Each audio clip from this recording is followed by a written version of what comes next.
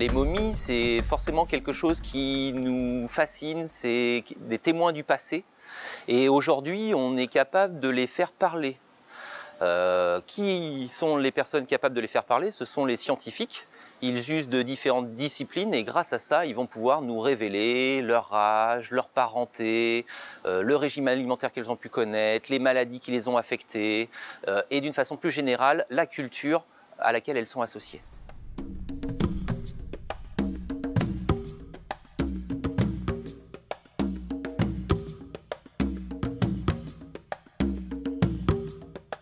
Les hommes dans plein de civilisations, de par le monde, à toutes les époques, ont cherché à préserver le corps de leur mort.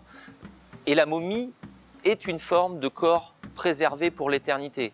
Même si euh, dans l'histoire il s'avère que certaines ne sont pas arrivées jusqu'à nos jours, beaucoup d'entre elles en fait nous ont apporté énormément d'informations sur les sociétés du passé, comment elles vivaient, et notamment en Égypte, si on connaît si bien la civilisation égyptienne, c'est que cette civilisation était très tournée et très préoccupée par cette vie après la mort, et que du coup, bon nombre de monuments, de productions graphiques, esthétiques, euh, du soin apporté euh, aux momies avaient cet objectif simple de euh, permettre à l'individu décédé eh d'avoir une vie qui se prolonge dans l'au-delà.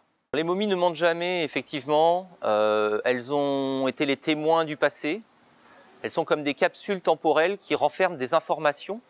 Et ces informations, effectivement, eh bien, seuls les scientifiques aujourd'hui ont les outils pour euh, les décoder, les retranscrire et nous les livrer comme un témoignage justement de la vie euh, de ces peuples qui ont habité la Terre avant nous. Les scientifiques, ils vont, pour les faire parler, user de toute une série euh, de disciplines, de moyens, de stratégies et, notamment on va pouvoir utiliser les insectes, on va pouvoir utiliser les grains de pollen, les cheveux, l'ADN, on va pouvoir utiliser l'imagerie médicale pour voir l'invisible. Et toutes ces techniques en fait sont au service d'une meilleure compréhension de la momie et surtout d'une compréhension qui n'est pas destructive pour les pièces. C'est-à-dire que par le passé, dans l'histoire, euh, on a depuis très longtemps cherché à les faire parler, mais pour les faire parler, avant, on n'avait pas forcément les moyens d'aujourd'hui, et du coup, on était souvent dans des investigations qui étaient destructives, et qui du coup, derrière, ne laissaient plus la momie euh,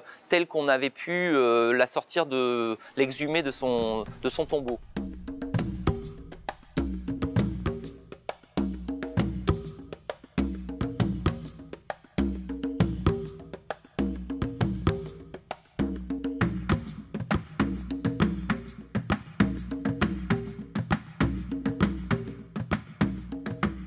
Y a-t-il une malédiction autour des momies euh, Certains l'ont cru, certains l'ont cru d'autant plus euh, en lien avec la découverte euh, de la tombe de Toutankhamon, puisque effectivement, associé à cette découverte, il y a eu plusieurs décès. Il a été montré que cette malédiction n'avait pas véritablement beaucoup de choses concrètes, à savoir par exemple le chef de l'expédition qui a découvert Toutankhamon, Howard Carter, lui-même a vécu de très nombreuses années après la découverte, alors qu'on aurait pu penser qu'il aurait pu être la cible première de la malédiction.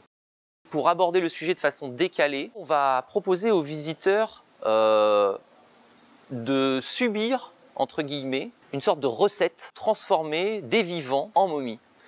Et pour cela, on va appliquer euh, ces fameuses recettes d'antan avec des outils d'aujourd'hui on va reprendre la succession des gestes telle qu'on la connaît, même s'il y a des pointillés, il y a des parts d'inconnus, il y a des zones d'ombre, et on va essayer de présenter au mieux comment les peuples eh euh, s'occuper de leur mort pour leur donner euh, euh, cette longévité et préserver leur corps à tout jamais.